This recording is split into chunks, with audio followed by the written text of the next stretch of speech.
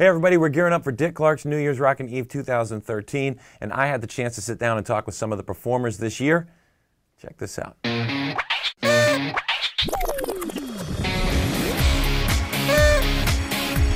Happy New Year! Dick Clark. I mean, he's the reason Legend. This, party is, is going on. Unfortunately, we did we, we lost him this year. I know. Uh, do you have a what's your, what's your favorite Dick Clark memory?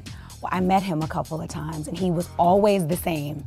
You know, the same, humble, down to earth, encouraging. I'll never forget him. He's amazing. He is. I mean, such a music icon. And that this is going to keep going years and years. That, that Ryan Seacrest I know. stepping up to the plate. He's great too. Dreamy. Hey, it's Brandy wishing all of you very special people watching a happy new year.